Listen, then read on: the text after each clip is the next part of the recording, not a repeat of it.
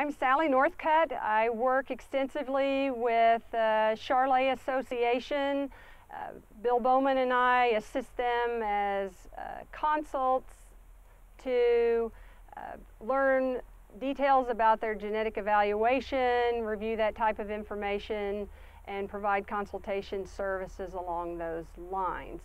Uh, today we had a great set of producers to uh, talk about uh, genomic prediction and how that's readily available in our seed stock industry, particularly in the Charolais breed in the terms of genomic enhanced EPDs.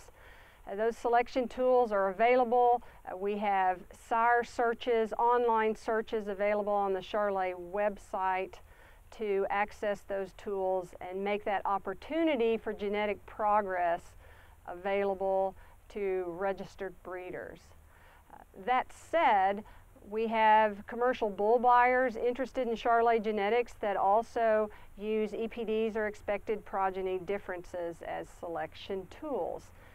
And what we have available now in terms of genomic resources, uh, those can be seamlessly incorporated into the Charolais EPDs as well as the TSI or terminal sire index available through the breed. You know, we covered a lot of information today in terms of genetic prediction, EPDs, genomic enhanced EPDs, what's available to the registered Charolais breeder, as well as users of Charolais genetics.